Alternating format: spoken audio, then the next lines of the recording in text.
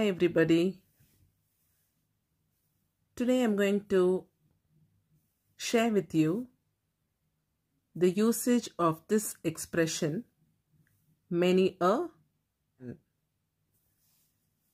We often hear people saying many a time. We also hear people saying many a times. Now which one is correct? Many a time or many a times? Well, yes. When we use many individually, it means plural. But many followed by a means it is singular. So many followed by a and then a noun indicates that this expression is to be used in a singular form. Therefore, it is many a time, not many a times. Now, what does this expression many a time mean? Many a time means many, as in many times, or repeatedly, again and again, frequently, or often. We all know that a denotes one noun, singular noun, and it is also an indefinite article.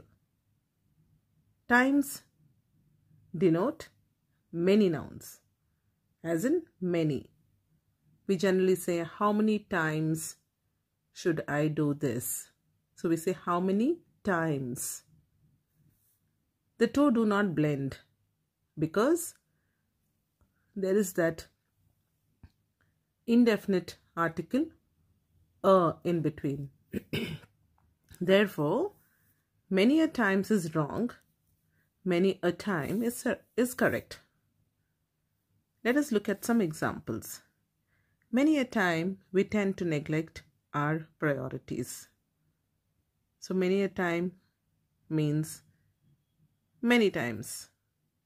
Joe had to work without rest many a time to complete the assignment.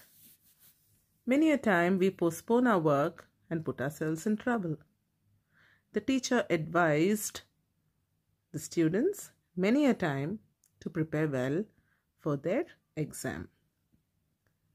I hope this is clear to all of you.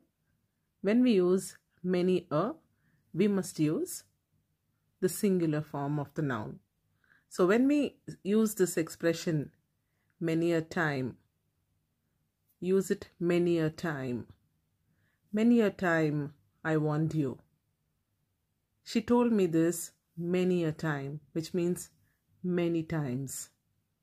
But never say many a times.